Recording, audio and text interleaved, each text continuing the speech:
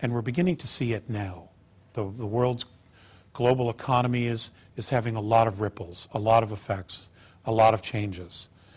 Um, here in the United States, we will be the first, as usual, to experience a lot of that stuff. Okay? But you're going to have you're going to be the leaders. You're going to be the ones that are going to stand there in your communities and say, "Look, this is what's been going on. This is what it is, and this is what we have to do." It's no accident that you are who you are. Okay, we've all volunteered for this. And my suggestion is the next time they ask us to do this, we really read the fine print on those contracts. Okay? Because I don't remember being this hard. I, I, I vaguely remember something about a walk in the park and. okay. Um, we have just a few more minutes, and uh, I was wondering if anybody had any questions. Okay.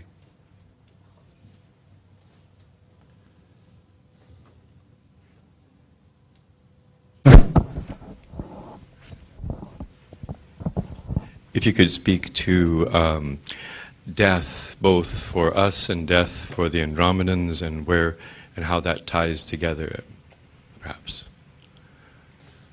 Death. In, the ter- in terms of the soul, I mean, we, we, the information that's presented here, yet we go home and we have our families and hospice and people dying, and how that ties in with the process that we're going through. I mean, you spoke of lifetimes, you spoke of reincarnation. You... Right. That's a great question. My understanding is that in the Andromedan culture, they have reincarnation as well. But in their culture, uh, when a soul crosses over, it has full memory of who it is when it comes back into the physical. Again, it's that law of consistency. We don't have that. And again, I, I believe that's that fine print on the contract. Um, Reincarnation is still a fact here as well. Okay, we do have reincarnation. Where the soul goes after there's death, I don't have that answer. I don't have that answer. I've just got a quick joke. Yes. Oh, I'm sorry. There you are. Yeah, it's just a quick joke. Two Andromedans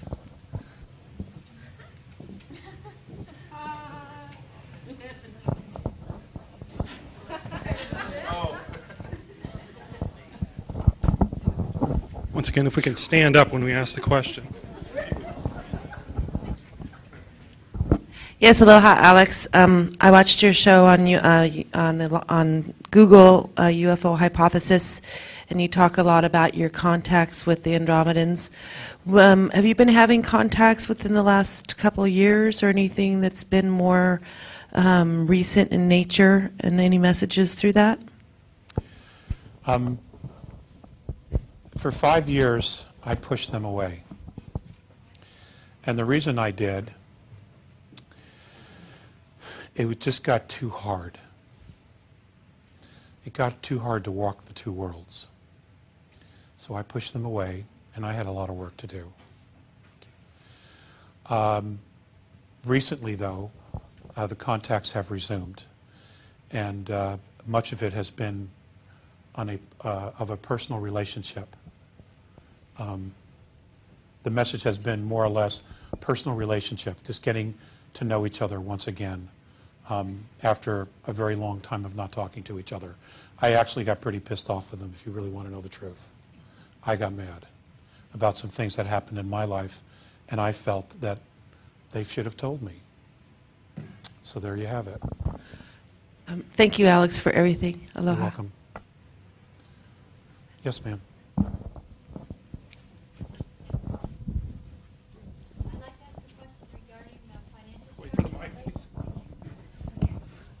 Okay, regarding the financial structures of our planet and the difference between their not needing currency, do they foresee a transition for us into that?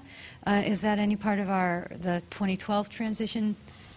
What what virtually all the other cultures do, that's a great question. What virtually all the other cultures do is that they have a very small government and basically everything's managed by the people. Everything is provided, education, housing, Everything that you would need to live is there.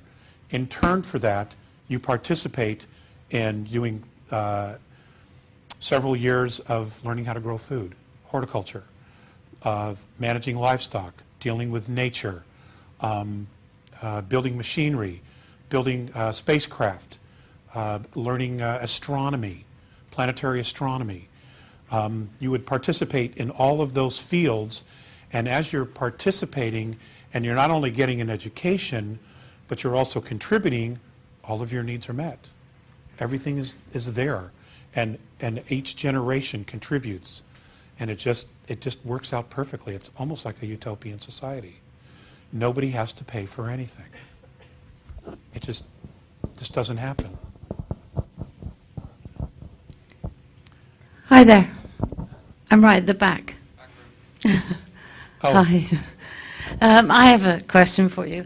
Um, I too have been in contact with uh, Andromedans, and uh, they've talked to me a bit about their society. And I was interesting, uh, interested to, to know if they told you, um, when it comes to uh, constructing things, have they explained to you uh, how far they go with manual construction or whether they use uh, thought manifestation, whether they combine energy with matter to construct uh, places, buildings, and things like that? Uh, Actually, both. They also use holographic technology. Yeah, I thought perhaps that might be the truth. Because uh, somehow, when I've been talking to them, I couldn't envisage them getting greasy, you know, making uh, wheel bearings and things like that. So um, I was wondering what they'd said to you um, about uh, whether they get together as a group and maybe uh, manifest a park or a garden or, or homes and things. Uh, my understanding is, is that the park areas, all of that is created using holographic technology. Um, if you're if you're in this in this craft and you move into one of these park areas, you literally have no idea you're in a spaceship, and you would never know you were in a spaceship. Yeah. I mean, they could create a Hawaii in the middle of these motherships, and you would think you were in Hawaii. You would not know unless you consciously were aware that you had walked into the ship, walked upstairs, took in elevators, uh, what they call elevators, what we would call elevators, to different levels, and then walked out into the park area in the spaceship as you're traveling through space. It is the most phenomenal thing I could possibly uh, that you could possibly experience. Yeah. It's awe-inspiring. Yeah. You know, it, it's just And they're using their thoughts to bring that matter together as, as and so it becomes solid in front of you like a flower. Yes. thank you. I, yes, they magnetize thought. They magnetize space with their thought. There's a lot we didn't cover, and I'm out of practice. Yes, ma'am.